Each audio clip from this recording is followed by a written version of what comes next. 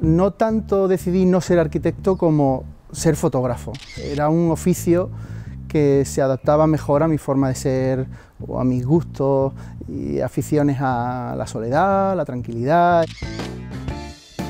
El tipo de fotografía que hago, digamos que es narrar espacios que ha modificado el hombre. La mayoría de estos hombres son arquitectos, eh, no siempre, algunos vivos, otros mm, que murieron hace cinco siglos.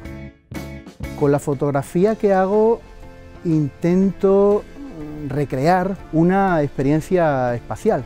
Eh, trato de dar una versión personal sobre las sensaciones que se tienen al, al visitar un espacio. Es la parte secreta y una de las partes, digamos, desde el punto de vista empresarial más importante de la labor del fotógrafo, que es la de vender eh, los proyectos que tú haces a editores de, muchos países. Hasta hoy creo que van unos 20, 25 países y unos 300 editores que, con toda confianza les enseño poco a poco lo que, lo que hago y a veces lo publican y otras veces no. Mi pasión por el cine o por la pintura del Renacimiento trato de trasladarla a, a mi trabajo. Mi metodología bebe mucho de la fuente de la, narrativa del cine, de la imagen en movimiento y de la compositiva pictórica del primer renacimiento.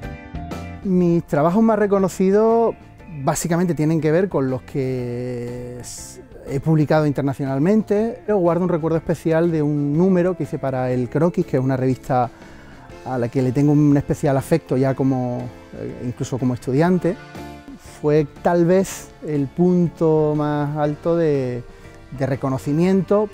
Prefiero el reconocimiento diario de que mucha gente me siga llamando para trabajar con ellos y eso es realmente lo que nutre mi día a día y mi oficio.